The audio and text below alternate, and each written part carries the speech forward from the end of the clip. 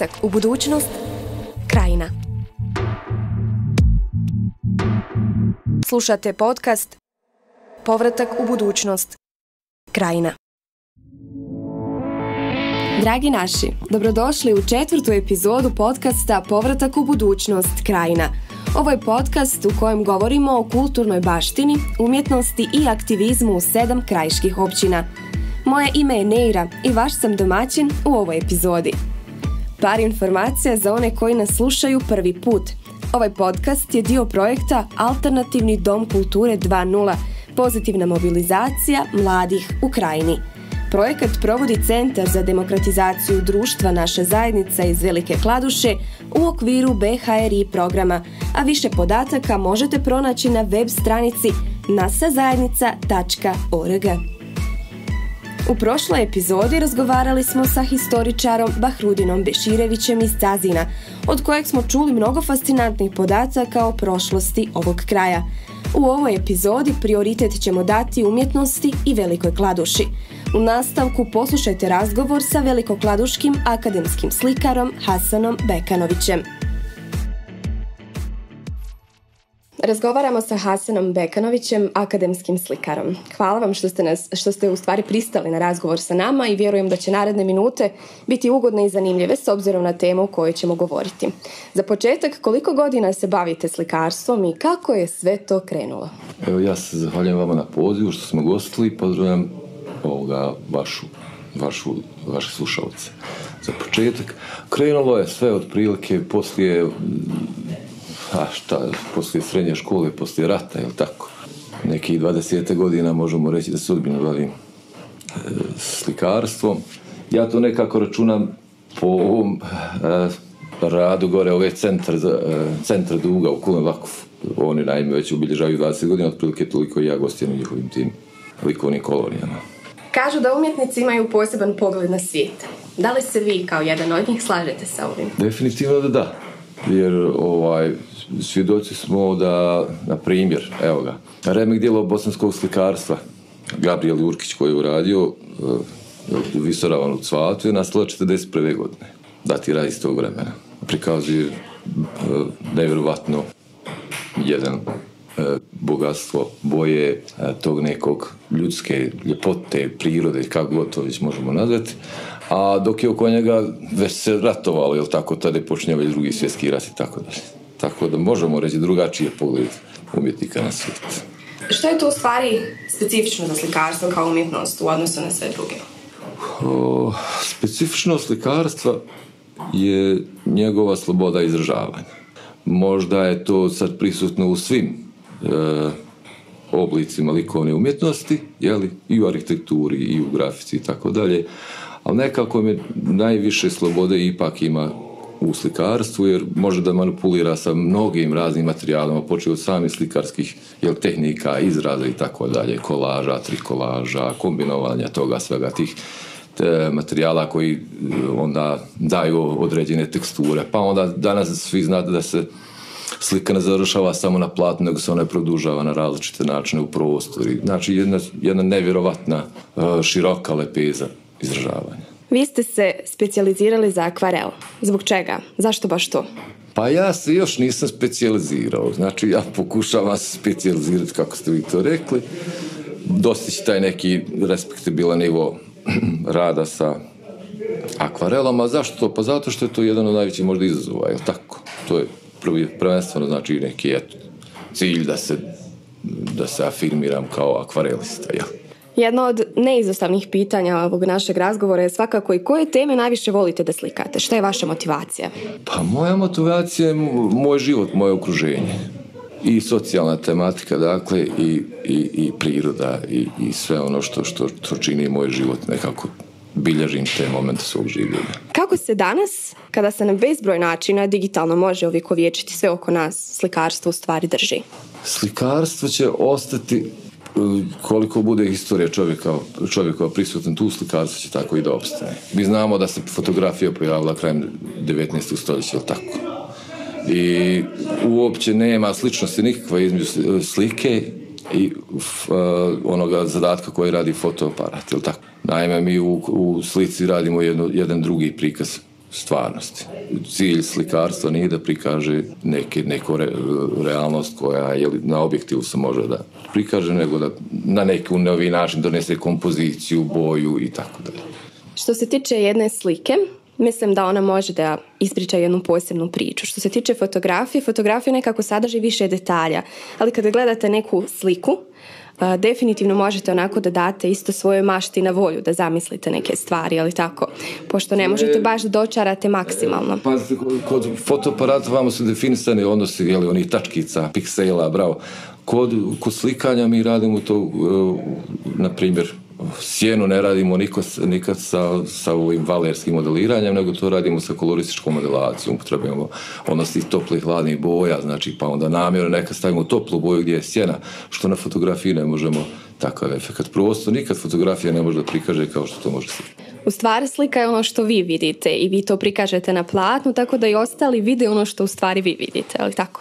Naime, mi moramo to vidjeti, ili tako, slikari to moraju vidjeti, ali ipak moraju poštovati, poštovati te neke likovne norme koje su, jel, koje su određene samim fizičkim tim svojstvima, boje, svjetla i tako dalje. Znači, to se ipak mora poštovati. Dakle, naše iduće pitanje, možda malo škakljivo. Može li se u Bosni i Hercegovini živjeti samo od slikarstva? Ajde mi to razjasnimo jedno za svakog. Mene to pitaju svi novinari. Uglavnom, znači, moj je stav ovakav e, može se živjeti, svak može da živi od svog rada ako radi. Zavisi ko šta čemu teži, koliko je njegov život taj možemo reći skromni, koliko je koliko si protiv veći od slikara i tako dalje. Na kraju krajeva, ako se postane eminentan umjetnik, ja ne vidim nikakvih problema zašto bi neki umjetnik danas živio, šta ja znam, u nekoj bijedi ako je eminentan umjetnik. Dakle, vaš odgovor je da može, samo ako se radi dovoljno. Mora da se radi i mora da se ovaj nekako ti kriteriji, šta, šta se to očekuje od, od života kad se ti kriteriji smanje, može lijepo da se živi. Pa evo kad smo se već dotekli života u Bosni i Hercegovini, koliko se kod nas u stvari pridaje značaj slikarstvu i umjetnosti? E, na primjer, ima li dovoljno ulaganja, da li u Velikoj Kladuši ima dovoljno izložbenih prostora, festivala i slično? Ne samo u Velikoj Kladuši, nego na nivou cijele države. Pa mislim da vi tu znate kao građanka Velike Kladuše, da Kladuša nema izložbenog prostora, osim ovoga, ovog alternativnog, koji zaista sad na jednom evo već respektibilnom nivou. Evo, vi svjedoci ste bili ste u ovoj prostori galerijskog izložbenog prostora DK, to je super stvar sad. Sasvim solidan prostor. Drugi izložbeni prostor u Kladuši ne postoji iz razloga vama dobro znanog što je ova gradnja Centra za kulturu Zuhtje Žalice stala nesretna gradnja i ukopala se i tako stoji nedovršeno na očigled i na uštrb sviju umjetnika građana Velike Kladuše. Pa evo kad već e, smo se dotakli te teme i kada već razgovaramo o tome šta bi to uh, predstavljalo za vas kao umjetnika da se napokon završi gradnja ovog centra za kulturu? Po prvom redu ne, ne, bi, ne bi imao problema oko organiziranja likovnih događanja, na primjer likovne izložbe, promocije, slika i sl. To sasvim za mene dovoljno. Ja, ja nemam velike prostore. Znači, veći je prostor o, organiziran tako baš da ovaj bude jeli, za tu namjeru. Ja, mi sad se sve alternativno snalazimo kako znamo i umijemo. Kakvo je stanje sa likovnom kulturom u školama, pošto ste nastavnik likovne kulture? Jeste, ja sam u prvom redu nastavnik likovne kulture, učitelj likovne kulture i vrlo dobro sam upućen u, u, u tom segmentu. Naime, likovna kultura je e, kao predmet e, minorno zastupljena, znači jedan sat sedmično, to je sve ukupno 35 sati godišnje. E, s tim smo dovoljno rekli koliko je zastupljeno, je tako? Poslije izbijanja pandemije koronavirusa, e, ti sati su skraćeni na 30 minuta. Tako da su rad zaista je otežan, u svakom smislu riječi, posebno na nas likovne kulture, znamo da se tu radi puno, jedan taj segment sata je veliki posvećen tom nekom praktičnom radu džaka, e, e, učnika, gdje oni razviju svoje te motoričke sposobnosti. I u ovom slučaju su oni prinuđeni da kod kuće, uglavnom kod kuće rade likovne zadatke koje naravno u školi dobiju upute, sve potrebne primjere i tako dalje, ali sad, znači, taj rad kod kuće, koliko je to, jeli, kod te djece savjestan rad, to je sad drugi, drugo pitanje. Radi se ipak o djeci nižeg uzrasta i sad znate da kod njih treba biti ta neka motivacija za rad i tako dalje. Da li ste već prepoznali kod nekog od vaših učenika onako talenac za umjetnošću, za slikanjem? Ja nisam prepoznao. Ja sam ushićen koliko đaka ima talentirani po našim školama. Talentirani, jako talentirani. I mnogo naših đaka, odnosno učenika je do sad uspjelo upisati i srednje škole, umjetničke, pa i fakultete, slikarstvo i razne druge ocike umjetnosti likovne, jel, pozavršavati, postati čak i magistri i tako dalje. Dakle, možda neko od ovih današnjih vaših učenika bude u stvari jednog dana vaš kolega što se tiče toga? One koje sam ja prepoznao, bilo bi zaista, zaista veliki grijeh da to ne upiše, ne završi. Došli smo do našeg, pa skoro pa zadnjeg pitanja. Naime, ovo je jako bitno pitanje i za nas i za vas, pošto evo, uskoro izlažete u Alternativnom domu kulture. Možete li više informacija da nam kažete o tome? Vaša emisija će najaviti moju samostalnu izložbu u 14. maja. Ja mislim da će to biti u 19 sati uveče u petak, jeli? Uh, sa nekim, evo ga, možemo reći, sa jednom postavkom koja govori o nekom tom kulturno-historijskom, ja sam je nazvao kulturno-historijsko nestajanje, jel, na izložbi će biti prikazani neki objekti iz našeg užeg i šire okruženja, arhitektonski objekti, koji, nažalost, nebrigom eh, lokalni vlasti, pa i nas sami kao građana su dospjeli na, na jedan nivo da stvarno nestaju. Da stvarno nestaju, a to su, to su objekti koji svjedoče o, o, baš o našoj našoj, na, to je naš pečat u biti, krajiški, je tako, pečat koji priča jednu priču o nama, o našoj historiji, o, o, o razvoju ovoga kraja i tako dalje, ali eto ga, sad ti razlozi su uglavnom svedeni na to da, da vlasti zajedno sa narodom nisu prepoznali vrijednosti objekata. Zašto je to tako, treba upiti nadležni organe. I vi ćete sa svojom izložbom pokušati bar na neki način da skrenete pažnju na to. Upravo tako. Moj zadatak je da, da se skrene pažnja na to, definitivno. To je, to je mo, i, i cilj izložbe. Zanima nas koliko je treba, potrebno vremena da se može odraditi jedna izložba? Koliko je potrebno vremena za jednu sliku da se naslika i slično? Pa ovako, ja kao i svi slikari uglavnom imaju, imaju više nekih ciklusa kojima se, kojima se bave, jeli? U mene sad ima neke 3-4 ciklusa na kojima radi već dugi niz godina. Ti ciklusi se onda samo upotpunjuju, je tako? Ti ciklusi se upotpunjuju i sad kad umjetnik osjeti da je ta neka eh, taj neki ciklus možda zaokružen jednim dijelom, možda onda napravi neku izložbu. Mada ja koliko znam svojih kolega slikara, niko od njih baš ne trči nešto da, da radite izložbu. Uvijek se kao nešto to još može završavati i tako. A što se tiče ove izložbe koja je pred nama, koliko vam je za nju bilo potrebno vremena? Ovaj ciklus koji sam ja radio, baš se bavi arhitekturom arhitektura našeg kraja i šire okruženja. Znači, to je, tu su prikazani stari gradovi neki, jeli, kule, kuće i tako dalje. I taj ciklus radi već zaista dugi niz godina. Neke od tih slika, nažalost, više kod mene nisu. Našli su svoj život, žive i dalje na drugom mjestu. A ovaj, neke od slika sam skoro nastakao, tako da vjerujem da mnogi nisu ni vidjeli i po prvi put se izlažu tu. Eto, prilike, pozivam svi zainteresirane da pogledaju nadam se da će biti ugodno iznenati. Evo za kraj našeg razgovora ja bih zamolila da nam date jednu e, poruku, to jest poruku svima koji će nas slušati i poruku svim umjetnicima koji u stvari imaju u sebi taj skriveni talent i čekaju u stvari trenutak kada će taj talent da izađe napolje. Evo ovako, ja bih poručio svima da ustruju na radu što smatraju da je vrijedno i da će, da će ovoga njihov rad će vjerovatno ako budu dovoljno uporni na kraju se isplati. Bio je to Hasan Bekanović, akademski slikar iz Velike Kladuše, a sada slijedi stalna rubrika ovog podcasta, a to su novosti iz Alternativnog doma kulture, kroz koje nas vodi Hasan Mujakić.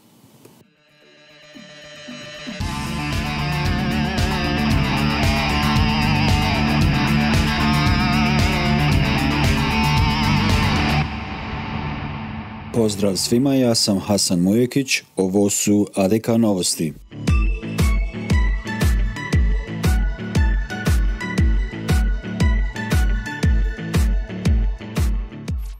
Već ste čuli, ali nije na odmet podsjetiti, u Alternativnom domu kulture bit će postavljena izložba akvarela Hasana Bekanovića pod nazivom Kulturno-historijsko nestajanje. To nije jedina aktivnost koju realiziramo ovoga mjeseca. U maju, zahvaljujući poboljšanju epidemioloških mjera, vraćaju se kvizovi znanja, ali i još nekoliko zanimljivih aktivnosti o kojima ćete više saznati ako pratite naše naloge na Facebooku i Instagramu. A kada smo kod Facebooka i Instagrama, Alternativni dom kulture ovog mjeseca dobija svoje naloge na ovim mrežama. ADK je toliko narastao da postaje prepoznatljiv nezavisno od udruženja naša zajednica i stoga ga puštamo da leti sam, barem na društvenim mrežama. To je sve što smo vam pripremili u ovom izdanju ADK Novosti. Čujemo se uskoro, a do tada ne zaboravite navratiti u Alternativni dom kulture.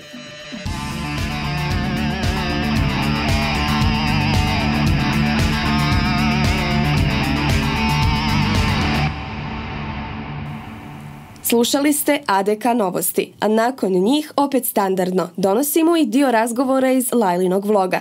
Ostajemo u Velikoj Kladuši jer je upravo ovdje snimljena četvrta epizoda vloga Povratak u budućnost u kojem Lajla razgovara sa četvero sjajnih kladuških aktivista. Donosimo vam razgovor sa jednom od njih, mladom Almom Nuhanović, koja je pored srednjoškolskih obaveza stiže da bude pravi omladinski lider za primjer svima. Ekipa nalazimo se na novoj lokaciji, a ta lokacija je u stvari jedan od najvrijednijih kulturnih spomenika u Velikoj Kladuši. To je naša zlatna naušnica, odnosno zlatna menđuša, koja je okrenutog piramidalnog oblika iz 7. stoljeća. Na ovoj lokaciji smo sa Almom Nuhanović, jednom od vrijednih aktivista Velike Kladuše, pa ćemo vidjeti stvari čime se to Alma bavi. Alma, dobrodošla u Povrtak u budućnost. Bolje vas našla, mnogo mi je drago što imam priliku pričati prije svega Lajla s tobom, a naravno da nešto kažem i o sebi, onima koji će nas u budućnosti gledati. Evo, čime se ti to sve baviš? Gdje ste to sve uključeno? Ovaj, jako, jako je komplikovano to nekako reći u par rečenica, prosto iz razloga, jer ono što, baš ono u svemu i svačemu, od mreže vijeća učenika Unsko-Sanskog kantona do nekih, onaj, pored toga aktivnosti kao što su, na primjer, trenutno takmičenje Girls Dance Lab na Loncu, do BHRI projekta kao što je inicijativa Nova generacija lokalnih lidera, prije možda godinu otprilike dana je to bio ja su bih ono sad sam rekla bi smanjila sam obaveze još što ima toga svačeg nečega naj, ali u suštini to je ono što mi je trenutno u fokusu prije svega naravno mrevuk ono realno to je najveća ljubav što jeste. Dobro dijelimo tu ljubav to nam je zajednička ljubav definitivno. A zanima me što se dešava sa novom generacijom lidera? To je skoro pokrenuta pokrenut projekat pa šta radite tu? Taj projekat je u stvari nastao na jednom treningu uh, za izgradnju uh, mladih lidera, odnosno strateško planiranje mladih lidera. I mi smo u suštini u sklopu toga imali taj neki sastanak sa lokalcima gdje smo njima pričali o tome koje aktivnosti će se dešavati unutar te inicijative. Nakon toga se je desila aktivnost posjeta najboljžem omladinskom klubu, kod nas je to bio Proni u Bihaću, gdje smo mi pričali sa Adisom Abdićem, njihovim koordinatorom. On je tu nama objasnio općenito šta je klub, šta je to Proni omladinski klub, ta neka njihova historija, kako se radi radionice i tome slično. Nakon toga su naši lokalci, pet učesnika iz Velike Kladuše, je u stvari napravilo, odnosno organizovalo aktivnost pod nazvom Mental ta aktivnost je jedna od meni iskreno najdražih aktivnosti tog mog cjelokupnog angažmana. Jednostavno bila toliko uspješna da onako pravo je drago mi što sam potrošila toliko vremena na to sve. Jer ono, u sklopu toga mi smo prelazili teme kao što su komunikacijske, prezentacijske vještine, mentalno zdravlje, gdje smo napomenuli bi imali gošću ovaj, Selmu Sarajliju, psihologa iz Doma zdravlja u Velikoj Kladuši, do samopouzdanja, zaljubljenosti. Ovo mi je bila najdrža tema, ono već se razumije. A, također, ova inicijativa se realizuje još dvije lokalne zajednice, a to su Vučkovci i Knježavo. A, oni također sad u tom nekom procesu e, tih aktivnosti, onaj, oni su došli do tog dijela, pošto našto kod njih je to malo štekalo, pogotovo u Kneževu, zbog ove cijele trenutne situacije, u nje čak i online. Sad, nakon ovog, trebalo bi, trebalo je doći u stvari taj finalni event, okupljanje sve tri lokalne zajednice ova, ovih učesnika po pet iz svake. Međutim, onaj, kao što se može pretpostaviti, spriječila nas je pandemija COVID-19, ali pričekat ćemo što bi se rekao s tom situacijom da vidimo šta će se u stvari na kraju krajeva dešavati, pa možda bude i mogućnost da to i organizujemo. Evo, Alma, sve što si mi sad ispričala, toliko puno informacija, toliko puno dešavanja, Zašto ti radiš to što radiš? Pa, prije svega, to je, na, rekla bih, evo, krenut ću od početka. Tad mi je ono bilo to nešto zanimljivo i od osnovne škole sam onako htjela biti osoba koja je kreator nekih promjene. Onako, bila sam osoba dosta kreativna, imala neke ideje, ali nisam imala mjesto gdje bi ja te svoje ideje iznijela. I onako, kroz srednju školu, početak srednje škole, treći razred, u trećem razredu sam posla i predsjednica, onda je to ono, sve što se nakupljalo godinama i godinama, u stvari došlo na vidjelo, izvješlo na vidjelo, da bi ja kroz taj proces gdje sam ja iznosila te svoje ideje, gdje sam ja radila sa drugim mladim ljudima, u stvari shvatila koliko ja volim to, ja volim raditi s ljudima. Ono, ne, nije sad da kažem ono da ja mogu 24-7 biti s ljudima, ali ono, volim taj proces, volim te aktivnosti, volim vidjeti kad napravim Pa najmanju, hajmo reći, sitnicu, najmanju promjenu kod neke osobe. Evo najviše primjer jedne svoje kolegice koja je, ja sam slučajno, ja sam joj došla i rekla, onaj, ideš na vidjeti učenika, žena ne idem. Prvo sad ideš. Tako da ona krenula i ona je sad u hiljadu nekih isto organizacija, voli aktivizam, ono, uh, promijenila se kao osoba na kraju krajeva, dosta komunikativnija. I meni je drago takve primjere vidjeti. Mislim da je to, ono, u suštini, nema riječi zašto radim, ali eto, iz ovog se može zaključiti, ono, više stvari. A evo, možeš nam reći nekako iz tog svog angažmana, koliko su stvar mladi ljudi u Velikoj Kladuši aktivni? Baš prilikom nekog jednog intervjua na uh, jedna moja kolegica je navela uh, tu neku rekla rečenicu da nisu oni pasivni, oni su samo manje aktivni. U suštini uh, mladi ljudi u Velikoj Kladuši su možda i više aktivni nego što se od nje očekuje. Jer bi onako po nekim mišljenjima ljudi, mladi ljudi ono samo šta rade, ispiju kafe, druže se po kafićima i to je to. A ne vide ove pozitivne primjere. Zašto? Zato što ne posjećuju možda te aktivnosti, ne pričaju sa takvim mladim ljudima, možda i eventualno ne prate tipa vi ako zapratite jednu stranicu ovaj, mladih ljudi, evo na primjer ili Mrevuk ili Asubi, automatski već dolazite do nekih hiljadu informacija što to drugi mladi ljudi rade. Jel onako, mi smo takve da po, pokušavamo što više podržavati jedne druge. Ja onako uvijek pričam i ko što sam bila onako baš, da kažem, u obe organizacije, pokušavam uh, da tako kažem, da tu uh, ne, te neke predrasude i stereotipe između sebe poništavaju, da podržavaju jedne druge, promovišemo ono, realno podijel story, neće tako struka, što jest, jest. Tako da mislim da jesu aktivni, može uvijek bolje, ali bolje se fokusirati na ljude koji su aktivni i e, što više njihovim na angažmanom bi, će, bi se s vremenom privukli ovi manje aktivni. On, oni bi se jednostavno zainteresovali, jer neće ljudi ono doći kad ti njima ispričaš njima ovako, kao što ja tebi sad pričam, kad ja njima tako kažem, on će reći, ono, isti normalno, ono, ja mogu pit kafu u vratima i da ja sad idem to raditi. Ali ako on vide šta vi radite, poprite to, tipa jednom dođu, njih će to zainteresovati. Možda će doći još jednom, dva put i na kraju krajeva, ono, zarobit ćeš tu svoju mrežu neku. Razumijem, ali meni je jako žao što ja nemam dovoljno vremena da razgovaram s tobom o svemu, apsolutno. Onako, ti si e, jedna pozitivna priča koja je se rodila iz Velike Kladuše. Sigurna sam da ćeš napredovati u budućnosti. Hvala ti puno što si bila moja gošta. Sve to. U kratkim crtama rekla čime se baviš i šta misliš o aktivizmu, a ja se nadam da ćemo imati priliku da ćemo puno više razgovarati o puno više stvari. Ja se također nadam i ono, super mi je ovo, super je stvari što radite i općenito što ti radiš jer znamo ono da ste isto jedna pozitivna priča iz Velike Kladuše, tako da to nadam se da se čujemo i vidimo. Preporučujem da Lajlin vlog iz Velike Kladuše pogledate na YouTube kanalu Naša zajednica ili na web stranici nasazajednica.org. A mi smo došli do kraja četvrte epizode našeg podcasta. Budite dobri i čuvajte zdravlje. Do slušanja. thank you